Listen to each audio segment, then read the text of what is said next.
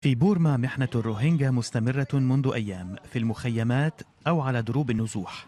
عشرات الآلاف من مسلمي الروهينجا فروا باتجاه بنغلاديش خوفا من حملة القمع التي يقودها الجيش البورمي.